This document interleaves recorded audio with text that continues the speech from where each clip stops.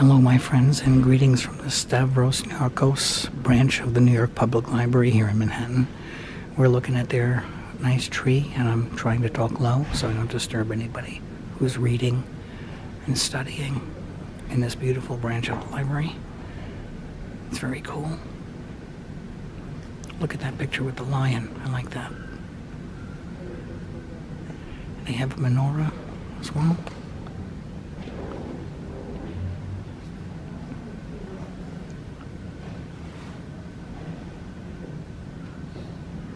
Sign says backwards protect the freedom to read. That's a good saying.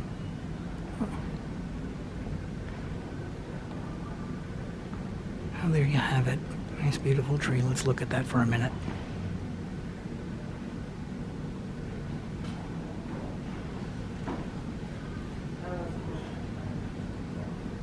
Very nice. This is a quick one because I don't want to make too much noise as people are reading and studying. Like I said, see you next time. Ken signing out. Bye.